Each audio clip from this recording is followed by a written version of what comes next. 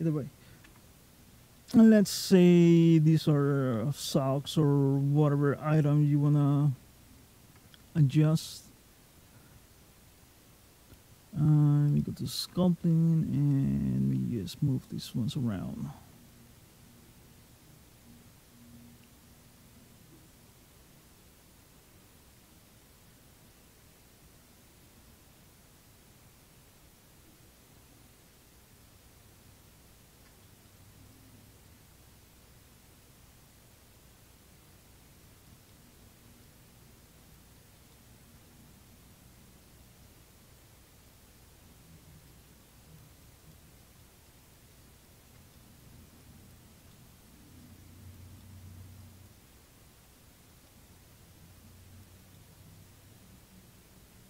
Why not? Now, let's add.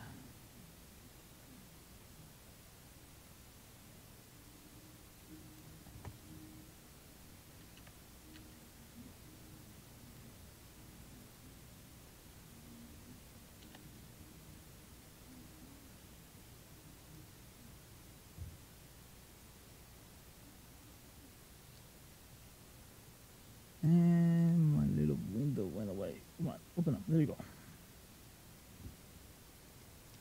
So let's just add a color to it. There you go. So now we can distinguish something else. Alright, so at this point, let's say you added your um, materials to it. The item you want to attach to your model if we turn on the bones, select this ones, you can go to your pose mode and you grab a bone, press G. It's not attached to your model. So you can put it there and the item stays there.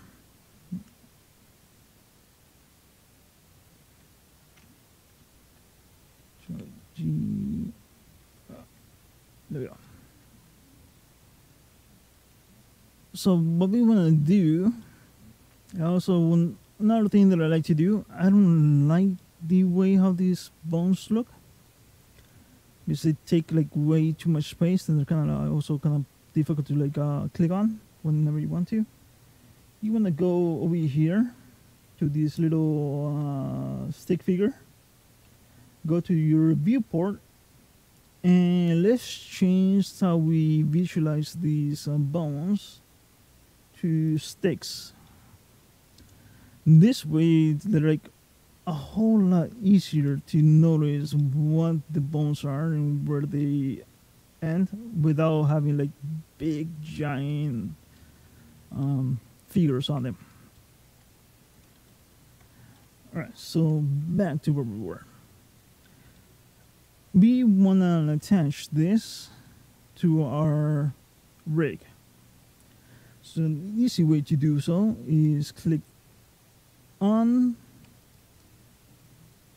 yeah, let's see. Click on your mesh and then your um, rig. You press Control P and with automatic weights. Okay, so what this is gonna do is pretty much the same thing as um, uh, PMX editor does when you transfer the weights from uh, the mesh to the body. This one is gonna extend the weights of the bone and extrude it out and attach it to the corresponding mesh that's closest to it. It doesn't always work. If you got like a, some bones or like a complex mix, it will screw up. So let's see how it happened. If you're lucky enough, um, it does work and you don't have to do like okay so this one it almost did it except that now that and that. So this one's uh, didn't manage to grab anything, and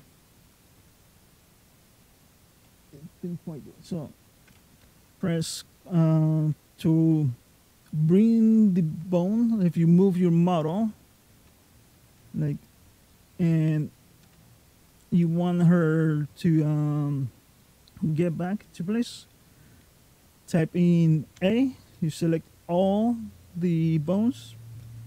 Control R gets rid of all the rotations. Con- Alt G gets rid of any of the uh, movements that you did. So with those two, she's back into her A position. Okay, let's go back to pose mode. And another way we want to do in order to like fix the little issue would be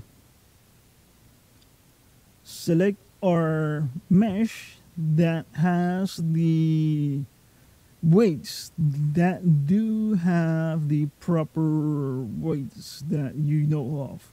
And that's going to be pretty much the body. Select that one. Shift click on your new item and for us it's gonna be the uh, what we did right? Now we're gonna go to over here and weight paint. From here don't press on anything else. They're already selected. We're gonna click on this drop down and say transfer weights now, the weights of the skin got extruded out into the model, but you're not quite done yet. You're gonna go down here. Don't click on anything else, or else this little box just gonna go away. And you're gonna have to redo it. Open this one up. In source layer selection, you wanna add the by name. All right, this is gonna transfer the weights a little more. Now, once you move it and it didn't quite do this kind of thing, you can actually play with these settings, increase it back and forth, and it's gonna mm, like blend in more of the weights. So now the weight of the skin should have been transferred into the uh, model. So let's go to object, select our bones, select to pose mode, grab a controlling bone, and now that is attached.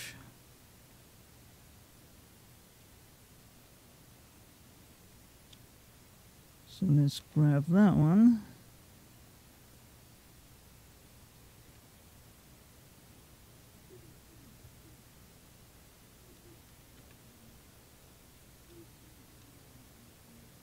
Alright, so that's following.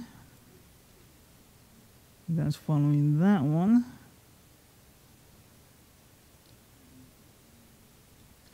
All right, let's check this one. If that one's the same.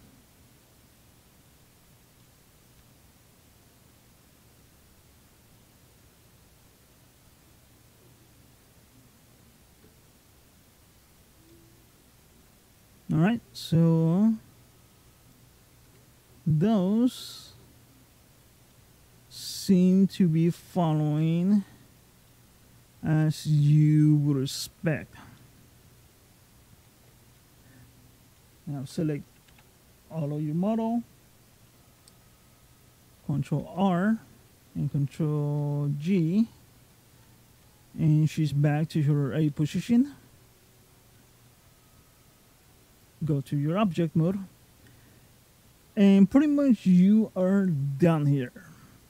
but let's say there were